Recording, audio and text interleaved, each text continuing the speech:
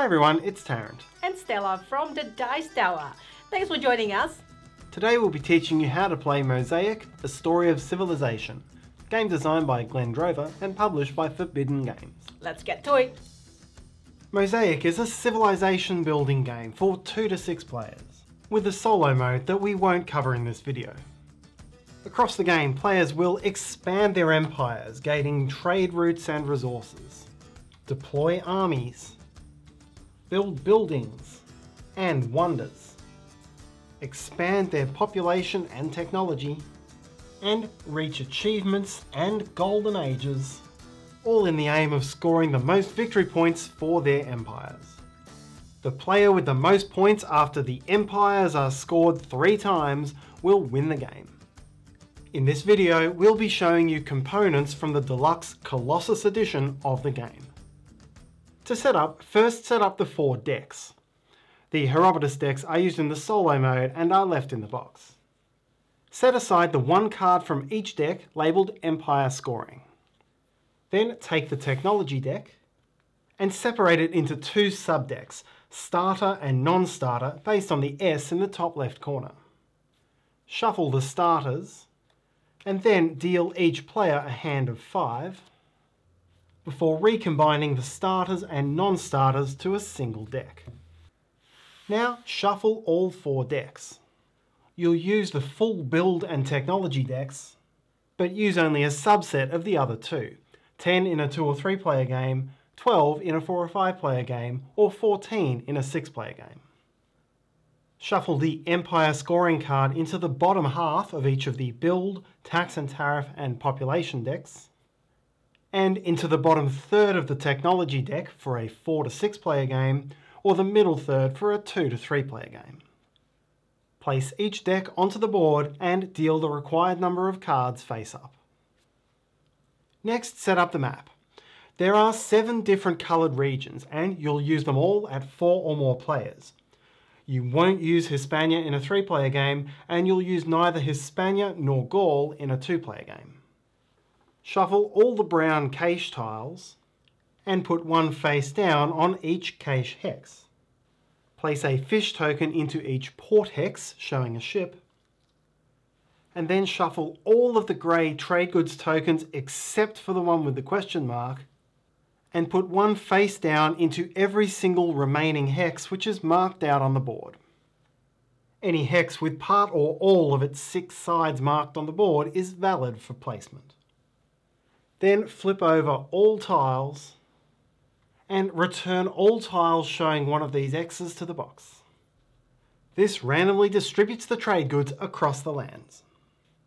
Beside the board lay out the nine wonder tiles and their pieces, the nine Golden Age tiles, nine of the 15 Civilization Achievement tiles chosen at random, and the six government tiles on the unflipped side. Now set up for each player. Each player takes a player board, the five starter technology cards they drew earlier, and all pieces in player colour. Find your 10 production cubes and put production at zero in each of these five tracks. Add 5 population to your storage area. Choose a first player. In reverse turn order, players choose one leader from all of those available. Gain starting resources and production according to that leader. And take note of your other bonus ability that's available to you through the game. Now all players will draft the starting technologies they were given. Choose one of the five cards in your hand and hand the rest of the cards clockwise. You'll receive cards from your neighbour, look at them, and keep choosing cards one at a time. In turn order, players place a starting city into any valid hex on the board, taking the token that it's placed on, resolving it in the normal way, then resolving any leader effects that resolve at the start of the game, and then resolving any starting technology cards that they're able to play. These resolve in the same way as their corresponding game actions, so we'll learn about that later. You can play any or all of your starter technologies as long as you're able, and usually you'll play at least three or four. Once all players have done this, you're ready to play. Mosaic is played in turns, starting from the first player and going clockwise around the table. On each turn, you will take a single action and may take one or more free actions. There are eight different main actions you can take. You can work to produce a resource. You can do population to increase the population of your empire. You can build a new town, city or project, in most cases putting the matching piece on the board. You can make a wonder, taking the matching tile and adding its piece to the board. You can develop a technology. You can tax or tariff to earn money from your empire. You can do military to hire or move military units around the world. Or you can do government to take one of the government tiles for some ongoing benefits. As free actions, you can play a technology card that you've previously gained and gain any Golden Age or achievement tiles whose criteria you meet. After taking your one main action and any number of free actions, play passes to the next player.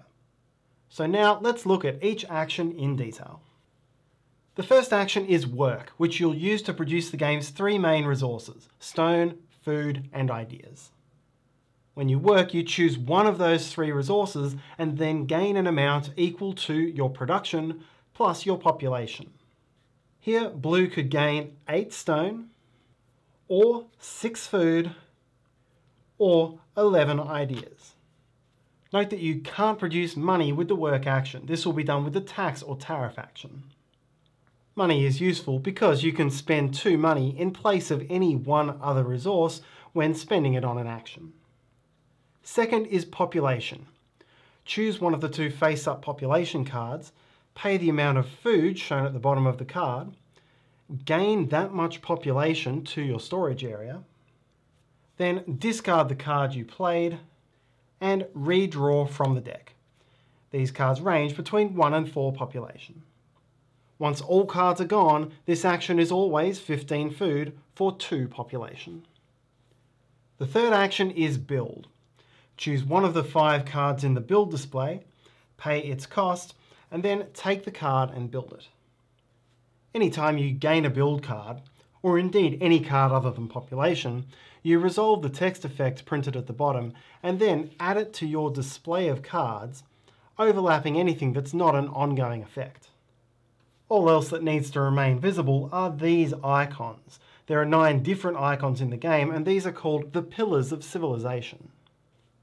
There are three different types of cards you can build, towns, cities and projects. Building a town is free. Simply take the card and add it to your tableau. Farm towns gain you food. Manufactory towns give you money and a way of earning victory points through trading. Either way, you now take the matching type of farm piece and place it on the board in any hex that is adjacent to one of your existing cities, excluding a port hex. If there was a token on that hex, you now take it. For a grey trade goods token, add it to one of your trade goods slots.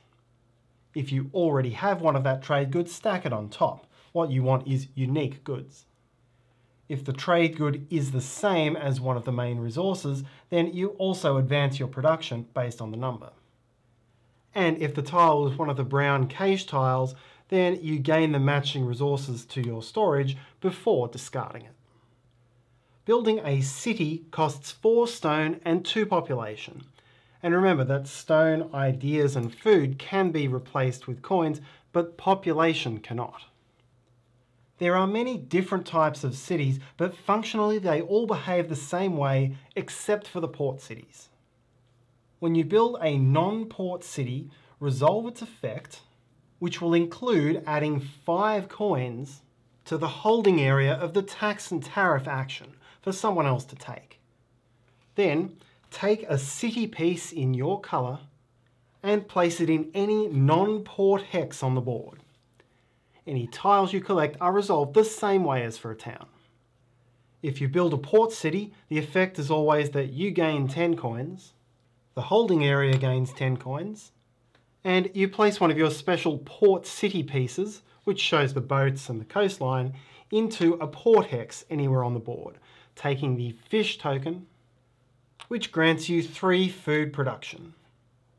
The third type of card you can build is a project, and this costs 5 stone and 5 ideas. This adds nothing to the board.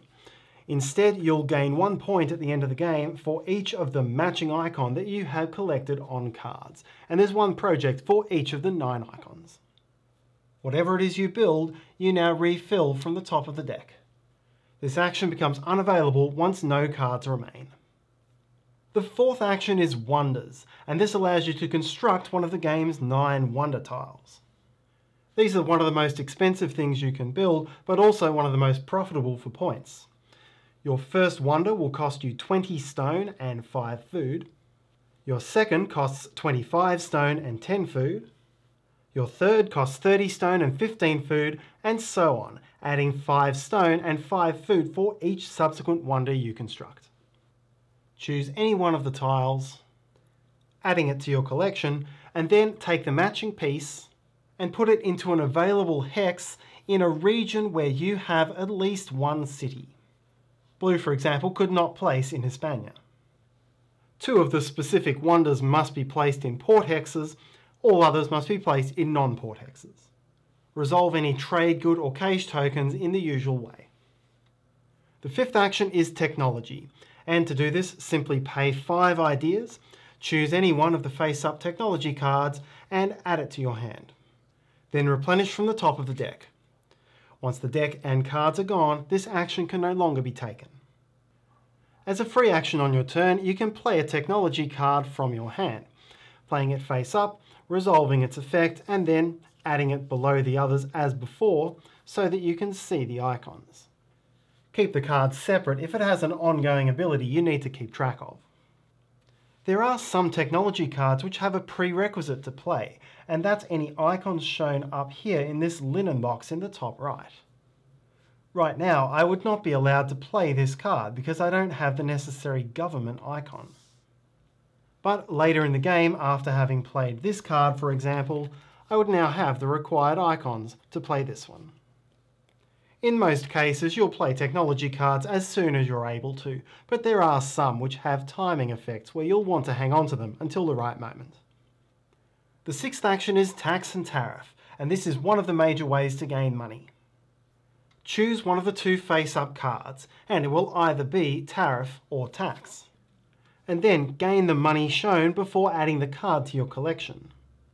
Tax cards will always give you some amount of money per population, some amount for each government icon you have, and the amount on your tax production. Tariff cards will always give you some amount for each unique trade good you have, some amount for each city that you've founded, and some amount for your tariff production. Both tax and tariff cards will give you some amount of unrest, which will be worth negative victory points at the end of the game. You gain all money from the holding area, which was put there when players built cities, and replenish from the top of the deck. Once all the cards are gone, you can choose either tax or tariff. The formulas for how much money you receive are printed down the bottom. You still get what's in the holding area, and you get no unrest. The seventh action is military, allowing you to both recruit and move military units. When recruiting, you can recruit a maximum of two military units at a cost of five coins each. These units can be infantry or cavalry or a mix of both, and unless you have some other card that combos with them, there's really no difference between the two. You could also recruit a siege engine if you have the siege engine technology. Each unit you recruit is placed in a region where you have at least one city. These units are not placed in any hex in particular, and they don't pick up these tokens. The units belong to the region as a whole, and you can freely shuffle around their position if someone wants to place a building where they were. When you move units, you can move each of your military units on the board a maximum of once at a cost of one coin per movement. Each move allows one unit to move to an adjacent region. You can move units together or separately, but each of them costs a separate coin. For military movement, these regions are considered adjacent your buildings and military contribute towards your control of a region when the time comes for empire scoring, and so this is why you'll want to construct them and move them to strategic locations. The eighth and final action is government. Choose one of the six government tiles yet to be taken by any other player. Make sure you meet the prerequisite icons in the bottom left corner and then pay the idea cost in the bottom right. Then take the tile and add it to your collection on the unflipped side. While you have this tile, you may have an ongoing benefit and you will have a personal objective which you can score during Empire scoring. You also have a once-off free action which you can take on your turn, flipping the tile over, to sweep out any one offer of cards, put them on the bottom of their deck, and replenish before your action. You may only have one government at a time. If you wish to change your government, return your tile on its unflipped side to the main display, and then purchase your new tile in the same way as your first. The final action you can take on your turn is a free action to gain a Golden Age or Achievement tile from the display. You can gain multiple tiles on the same turn if you meet multiple prerequisites, and each of these tiles is worth 6 points. All Golden Age tiles can be taken when you reach a prerequisite of 6 of a specific icon, and when you gain this, in addition to the points, you'll gain a bonus printed on the tile. The achievements are based on a variety of other prerequisites, such as trade goods, types of units, cities or production, and these are only worth the points. When an Empire scoring card is revealed, finish the current turn and then resolve Empire scoring. Separately resolve which player has the most and second most influence in each separate region on the board. Each city, including port cities, and each wonder owned by a player score 2 influence. Each town and each military unit scores 1 influence. Suppose here that Red is the owner of the Colosseum. Red has 2, 4, 6, 7, 8, 9 influence. Yellow has 2, 3, and blue has 1, 2, 3, 4. Red is the winner and now scores one point per city and wonder owned by anyone in that region, plus three points. So here, one, two, three, four, plus three is seven points. The second place player gains two points. Mark these scores out on the score track. If two or more players are tied for the most influence in a region, then they gain the full points and anyone else gains nothing and where there's a tie for second place, all those tied players get nothing. Technology cards may have some other effects on influence, and siege engines, if present, cancel the influence from cities. Then any player with a government scores for that government's empire scoring bonus.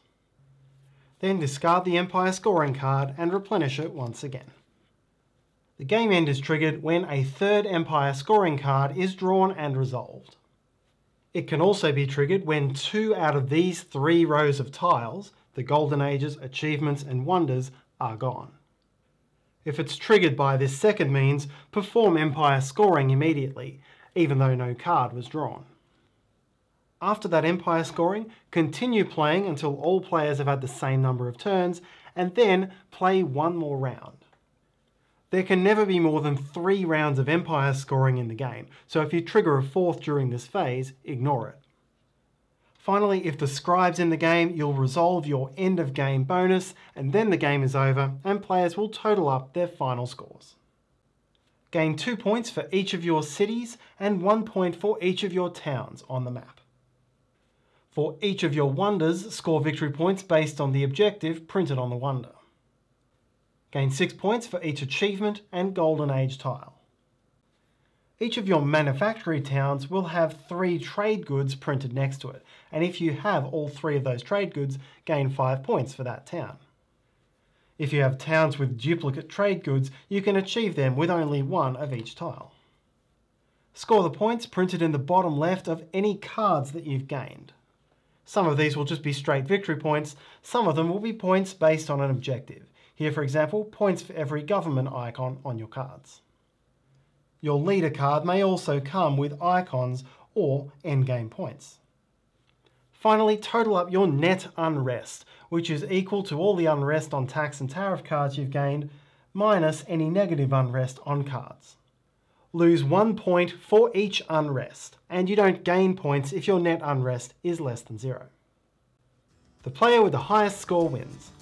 If tied, whoever has the most wonders wins. If still tied, whoever has the most leftover money.